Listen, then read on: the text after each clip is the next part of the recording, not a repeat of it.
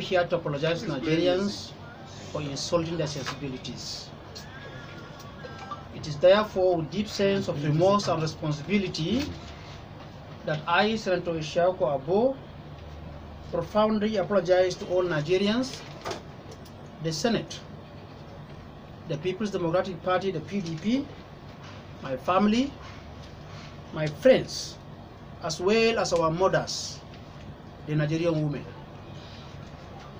I personally apologize to Bibra and her family for my actions. No matter what you did to me, you don't deserve such treatment. I am sorry. I have never been known for violence. Regardless of what transpired prior to my expression of anger, which I'm not ready to discuss, I am sincerely sorry and I plead that all men and women of good conscience shall have the heart to forgive me. The air is human, forgive is divine. My family and religious upbringing do not give me approval to such conduct.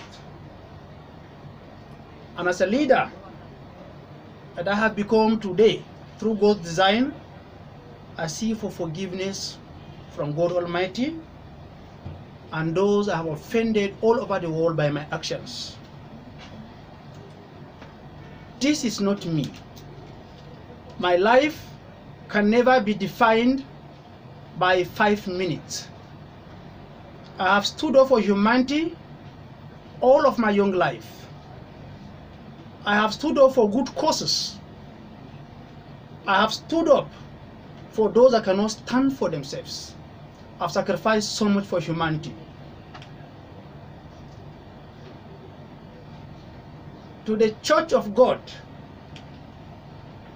everywhere in the world,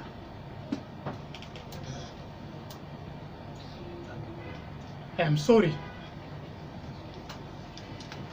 As an ambassador of Christ Jesus, much is expected from me, and I should live like Christ Jesus. Indeed, this episode has taught me a very great lesson, both as a private citizen of the Federal Republic of Nigeria and a public office holder, particularly the high office of a senator upon whom public confidence is bestowed lavishly.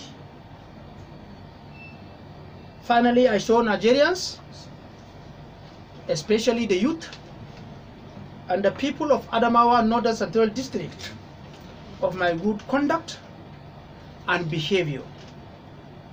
God bless you all. I won't be taking any questions.